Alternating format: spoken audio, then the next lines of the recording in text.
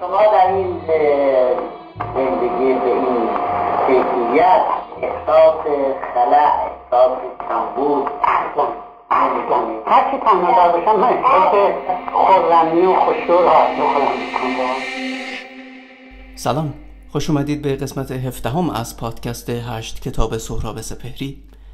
در این قسمت شعر نزدیک دورها از کتاب ما هیچ ما نگاه رو می‌خونیم.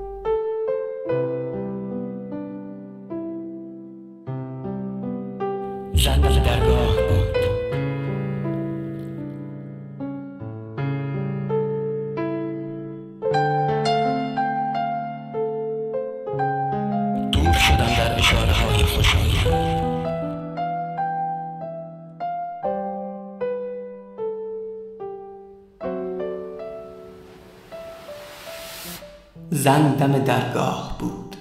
با بدنی از همیشه. رفتم نزدیک چشم مفصل شد. حرف بدل شد به پر به شور به اشراق. سایه بدل شد به آفتاب. رفتم قدری در آفتاب بگردم. دور شدم در اشاره های خوشایند. رفتم تا وعدگاه کودکی و شن تا وسط اشتباه های مفرح تا همه چیزهای محض. رفتم نزدیک آبهای مصور پای درخت شکوفدار گلابی با تنه ای از حضور. نبز میامیخت با حقایق مرتوب. حیرت من با درخت قاطی می شد دیدم در چند متری ملکوتم. دیدم قدری گرفتم انسان وقتی دلش گرفت از پی تدبیر می رود.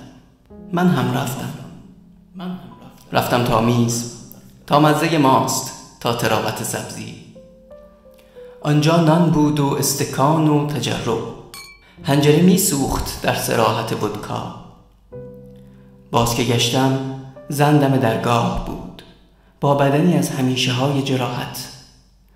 هنجره جوب آب را قوطی کنسرو خالی زخمی می کرد